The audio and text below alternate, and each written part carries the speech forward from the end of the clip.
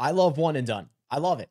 I think you guys love it too. I think there's a reason that our number of entries that we've had in our one and done over the years looks like this graph, which, if you're not watching on YouTube, it's basically 28x over the course of the last couple of years to 5,500 people in our one and done this year. And the thing that I love so much about it is that it's this unsolvable problem, right? You're never going to pick the perfect, most optimal thing. It's very much like the March Madness bracket, right? No one's going to ever sniff getting a perfect bracket. No one is ever going to, going to sniff getting a perfect one and done year where you pick the winner or, or the best possible outcome every single time. But um, that's what we strive for, right? And, and I love tinkering around. I love that there's a lot of different tools.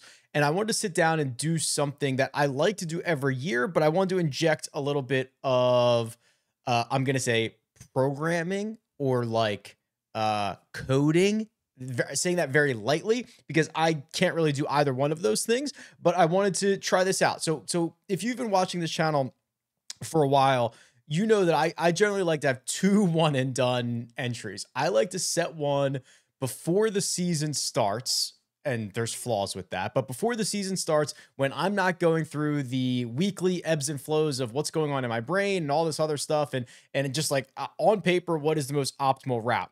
Uh, now, of course, it's impossible to know where every golfer is going to play. Uh, every single week, so we don't even know where everybody's going to tee it up, but we have a decent idea. And I'll usually have to make a couple tweaks throughout the year, but there are a lot of times that that one and done entry will do better than the one that I pick every single week because I don't have that recency bias. So I wanted to mess around with it this year and do it a little bit differently and try to automate or compute this as much as I could. Um, so I learned a little bit of Python. I uh, asked Chat ChatGPT a lot of questions. And basically, this is the route that I went down in an attempt to win my own one and done, which is a hundred thousand dollar uh, first prize, completely guaranteed. It's 1.2 million dollars of guaranteed funds. It's on Splash. We've been running it on Splash for the last couple years. They've been very, very good to us to guarantee us the 1.25 million dollars. Um, a, a very solid payout structure. I came up with this structure myself. There are segment payouts. There are it, it pays out 10% of the pool. There's a lot of really good stuff here. So this is the contest. I'll put a link in the description. It's legal, fully regulated in more than 40 states, most of Canada. We don't have to worry about holding the money or anything like that. So Splash has been very good to us. This is the one and done for this year. Also, depending on when you're watching this, if you enter before January 1st, you're entered to win a trip to the West Coast, to SoCal or to Las Vegas, hang out with me. I'll fly you in. We'll play golf. We'll play poker. I don't know, whatever you want to do or um, if you uh, you don't if just before the contest starts if you have two or more entries in you're in a draw to go to the players championship hospitality tickets next to me it'll be fun it'll be a blast travel included all that fun stuff. So do both uh, put two entries in before january 1st and you're all good. So what did i do here? Um, let's jump into it. I am not a coder so i kind of rigged this up the way that i know how and I started in Excel, right? So all I did is I loaded in the um you know the actual purses and event schedule for my one and done. So 31 events. I put the purses in because there's such a huge range of purses on on the pga tour now. There's also a big range of field sizes. So i wanted to make sure that we had a calculation that included hey, this is a $20 million purse and there's only 70 guys in the field versus this is a $9 million purse and there's 120 guys in the field. Like, big difference of where I would want to use Scottie Scheffler, Rory McIlroy, or Tommy Fleetwood in those scenarios, as opposed to hoping, like, I'm not going to use Scottie Scheffler to uh, like battle out 150 guys for no money, right? Like, just not going to do that. So I loaded in all the events, um, the schedule, and the purses and the field size. I then just took, I mean, this is as basic as it gets, guys. Like, let's be real about it. I took the top, uh, I took 190 golfers. So I basically, that was my pool. We're only going to use 31 of them, but I wanted 190 golfers to be available. Loaded in some strokes gain numbers, their average, their standard mediation, uh, standard deviation, so that we could run a little simulation, just like normal distribution bell curve, bell curve level stuff. And then I also loaded in the payouts. So if you finish first on the PGA Tour, that generally gets you 18% of the purse. Second usually gets you a, a, little less than 11%, so on and so forth. So basically, the way that this works is as follows this Python script looks for my Excel file and it makes sure that I have everything that I've promised it will be in there. And then what it is going to do is it is going to simulate the outcome of each tournament 5,000 times. Okay. So basically, it's going to use that that mean and that standard deviation to basically do a you know random outcomes within those ranges and then rank the golfers based on their strokes gain total which would end up just being the result of the tournament anyway right so it would be the same as the leaderboard and then depending on what position they finish in in each one of those outcomes they get uh, that percentage of the purse. So basically, you know, first place at a signature event, let's call that $3.6 million.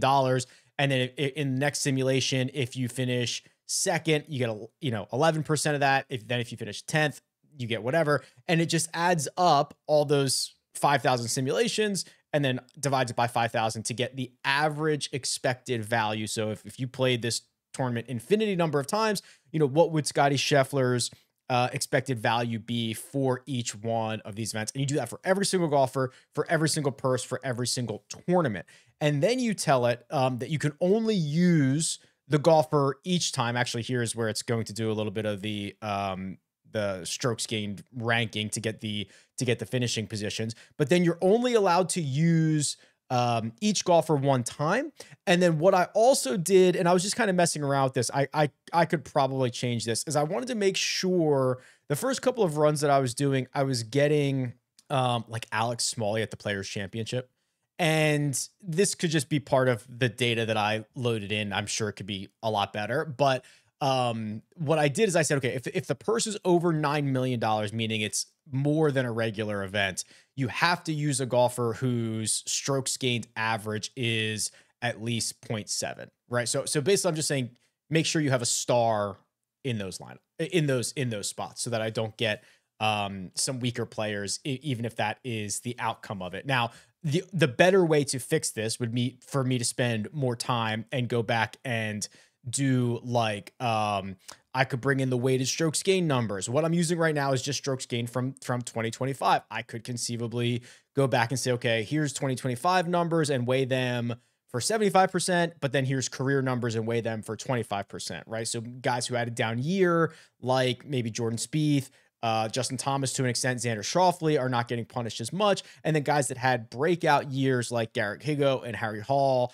uh, are not being overly rewarded. So there are some ways that I could come back and and run this a little bit differently, but uh, just for the purpose of of this exercise, I wanted to see where it took us. And then what it does is it puts this matrix together, which I really like. Let me clean this up and make it look better for you. So this is now the result of all 191 191 golfers for each one of the 31 events and what their average uh, expected value was after those 5,000 simulations. So every single golfer's in here. And that top row is Scottie Scheffler. That's why you're seeing, you know, a, a, a green shade and darker green uh, straight across the top. He is getting rewarded at all, you know, big time, big time, all the, um, uh, you know, all the signature events and, and all the big ones. But you'll see there are guys like, um, you know, Corey Conners has a slightly higher, uh, expected value than JJ Spaun at the Sony Open, right? So now it is going to look through this entire sheet and pick out the best spots, right? So it's going to look what is what is the the the highest expected value for any player at any event. It's Scottie Scheffler at the BMW Championship. And that makes sense because it's a 50 person field with a $20 million purse, right? So if you win that, you have to beat the fewest number of players and you get the big payout. So now it's going to, okay, so it's, um, I'm, I'm to reveal it in a second, but I'm, I'm assuming what it's going to do is it's to it's to slot Scottie in to the BMW Championship, and now they are. Or actually, I should probably get myself out of the way here so you can see this. There we go. Sorry. Um, it's to slot Scottie in for the BMW Championship, and then it's going to start working from there, right? And it's going to find the best possible outcome.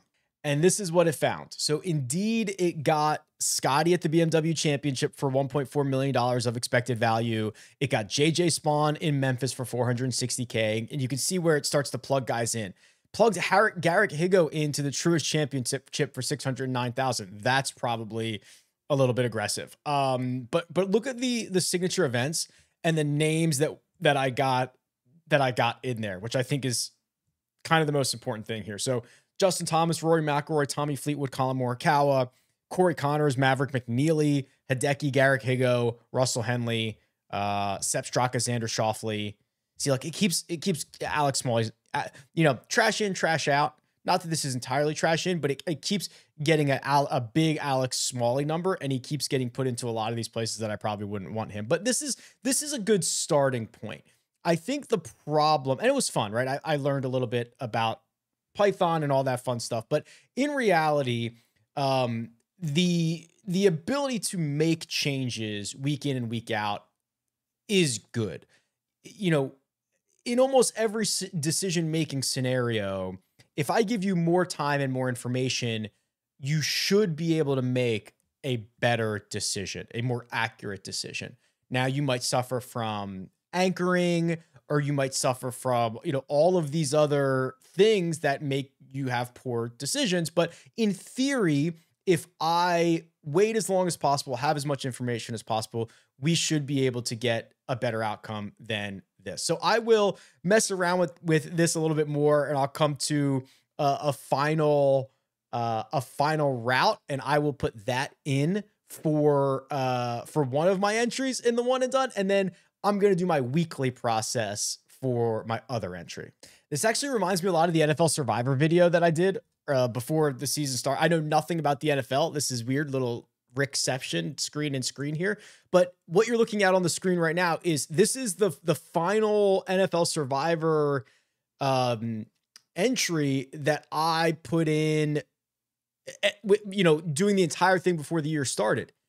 This this the first nine ga- weeks were winners. This made it to week ten when Miami beat Buffalo, and that knocked out a lot of people. And it has only lost two games all year. So it lost in week 10 and it lost in week 17, which was just this past week as I record this. Washington uh, lost to Dallas. So if Cincinnati beats Cleveland in week 18, this is a 16 and 2 run. I know that's not how Survivor works, but like this, that is significantly better than average, way better than average. And also way better than the entries that I was picking week by week.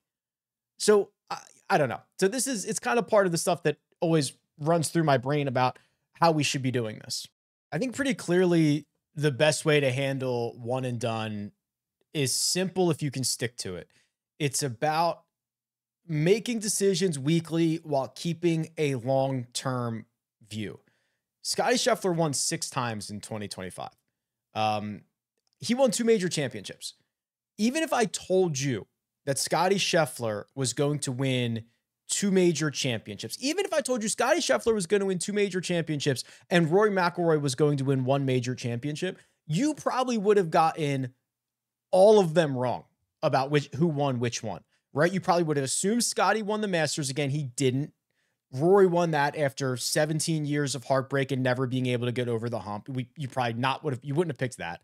Uh, you probably would have picked Rory at Portrush, right? Going home, going back to Portrush, Open Championship, or you would have picked Rory at Quail Hollow for the PGA Championship, a place he's dominated. Well, Scottie won there, and then Scottie won at the Open. Like, I could have given you three of the major championship winners and said, tell me which major they won, and you might have gone 0 for 3. So that's the part about keeping the long term view of like the best players. It doesn't matter how popular they are it doesn't matter. Like, like the best players are the best players. Um, but at the same time, like you don't have to follow the week by week ebbs and flow. Like think about how popular Scottie Scheffler was from a one and done perspective uh, at the Masters, um, and think about how popular Rory McIlroy was from a one and done perspective at the PGA Championship. So the the week in week out ownership game uh, sentiment game drives a lot of decision makings, you would be very good just looking at the odds board, looking at the best players, picking the one guy who's not going to be that popular and just taking your chances, right? Like that that's the the volatility that kind of gets um I think gets lost in the in the week to week of it. Just kind of scrolling through and looking through the winners here. I, I see more instances of guys that were like it made no sense that they won as opposed to guys that made complete sense that they won. We already covered some of the major championships. I remember the Rory McIlroy sentiment at, the, at, at, Pebble Beach, which is like, oh, it's such a short golf course. His driver is the best weapon. It's gonna it's gonna neuter him. Wins at Pebble Beach, right? Uh, Brian Campbell and Joe Highsmith were like 350 to one or 500 to one when they won. Um, the ones that made sense, Ludvig going back to Torrey Pines after getting sick the first couple uh, after uh, they played Torrey Pines the first time for the Farmers, coming back there for the Genesis and him winning. That made a lot of sense. Rory McIlroy the Players made a lot of sense. Viktor Hovland winning the Valspar, no sense. It was three straight missed cuts, and he for the first time in his career, and he and he wins the Valspar. That makes no sense. Um, Justin Thomas at Harbour Town, that did make sense. Uh, we were on that in a big way. That made complete sense. Scottie Scheffler winning the CJ Cup makes sense, but are you going to use Scottie at the CJ Cup? The answer is, is probably not. There's just uh, Keegan at the Travelers. That made sense. Uh, there's just so many of these. Uh, how about Chris Gotterup at the Scottish Open? Has never played links golf. Doesn't make sense, but was playing some of the best golf of his life. So I don't know where I'm going with this. I I'm trying to figure this out with you. I'm trying to just talk through this and maybe it maybe it triggers something for for all of us.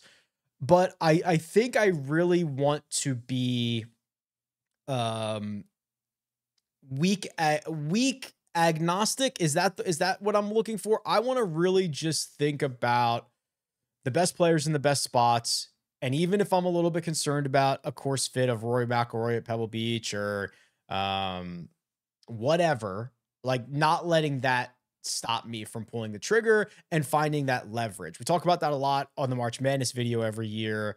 I think that's probably a lesson I could take for myself that leverage is critically important in this one and done game, which is, you know, uh, of course, not only just like there, you know, two two outcomes in college basketball. One team wins or the other team wins, right? So you you kind of know what the out that's obviously very far away from what we're trying to do in golf here, but the idea that you can get a lot of leverage on these guys, I think is really important. So I'll I'll leave it at that. I don't know if it's helping or hurting. I thought it was a fun exercise and one that I encourage you to do just to kind of get an idea of the way a year could lay out for you, even if you end up making those week in, week out adjustments. But highly encourage you to get in the Rick Run Good one and done somebody's going to win $100,000, which is unbelievable.